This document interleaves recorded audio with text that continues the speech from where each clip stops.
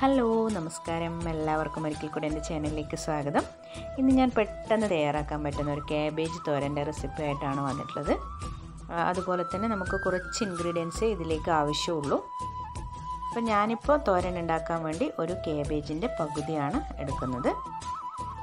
First തന്നെ cabbage നമുക്ക് ചെറുതായൊന്ന് cut ചെയ്തതിന് ശേഷം ഉപ്പും മഞ്ഞളും. ഒരു സ്പൂൺ ഉപ്പും ഒരു സ്പൂൺ മഞ്ഞൾ പൊടിയും മിക്സാക്കിയ വെള്ളത്തിലേക്കാണ് ഇതിട്ട് കൊടുക്കുന്നത്. ഒരു കാ മണിക്കൂർ നമുക്കിതിങ്ങനെ വെള്ളത്തിലിട്ട് വെക്കണം.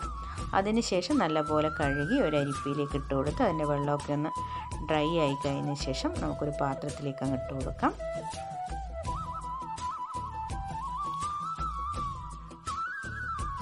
പിന്നീട് ഇതിലേക്ക് നമുക്കൊരു കാൽ ടീസ്പൂൺ മഞ്ഞൾപ്പൊടി മാത്രമേ ചേർക്കേണ്ട ആവശ്യമുള്ളൂ. അതുപോലെ തന്നെ ഉപ്പും വളരെ കുറച്ചേ വേണ്ടൂ. കാരണം നമ്മൾ ഈ ആദ്യം തന്നെ ഉപ്പും മഞ്ഞളും മിക്സാക്കിയ വെള്ളത്തിലാണല്ലോ ഇത് ഇട്ട് കൊടുത്തത്. അതുകൊണ്ട് തന്നെ പിന്നെ ഒരു ഉള്ളിയാണ് ചേർത്ത് കൊടുത്തത്.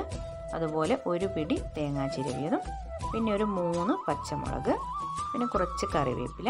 അപ്പോൾ എല്ലാം കൂടി നല്ലതുപോലെ നമുക്കിതൊന്ന് മിക്സ് ചെയ്തെടുക്കാം.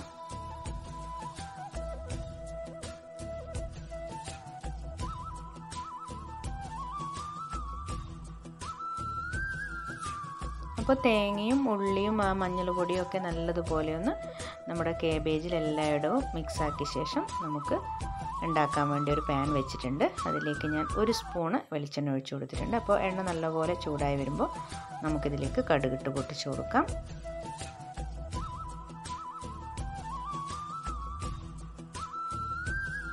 അപ്പോൾ കടുക് ഒന്ന് പൊട്ടി വരുമ്പോൾ നമുക്കിതിലേക്ക് ഒരു കാൽ ടീസ്പൂണോളം ഉഴുന്ന് പരിപ്പ് ചേർത്ത് കൊടുക്കണം. അപ്പോൾ കാബേജിൽ ഒരു ഉഴുന്ന് പരിപ്പൊക്കെ ഇങ്ങനെ കടിക്കാൻ കിട്ടുമ്പോൾ നല്ലൊരു ടേസ്റ്റ് ആയിരിക്കും.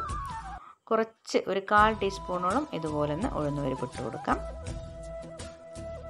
അതിനുശേഷം നമ്മുടെ ഈ തോരന്റെ മിക്സ് ഇതിലേക്കും ചേർത്ത് കൊടുത്ത് നല്ലതുപോലെ നമുക്കിതൊന്ന് ഇളക്കി യോജിപ്പിച്ചെടുക്കാം.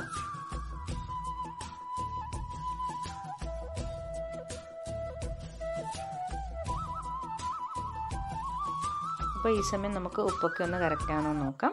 എല്ലാം ഇതുപോലെ ഒന്ന് തട്ടിക്കൂട്ടിയതിന് ശേഷം നമുക്കിതിലേക്ക് ഒരു രണ്ട് ടേബിൾ സ്പൂണോളം വെള്ളം ഒഴിച്ചു കൊടുക്കണം. നമ്മൾ ഈ മിക്സാക്കിയ പാത്രത്തിലേക്ക് ഒരു രണ്ട് ടേബിൾ സ്പൂൺ വെള്ളം ഒഴിച്ച് ഇതുപോലൊന്ന് ചേർത്ത് കൊടുത്താൽ മാത്രം മതി. ഇനി ഒന്ന് മൂടി വെച്ചതിന് ശേഷം ഒരു അഞ്ചാറ് മിനിറ്റ് കൊണ്ട് തന്നെ നമ്മുടെ കേബേജ് തോരൻ നല്ലപോലെ കുക്കായി കിട്ടും.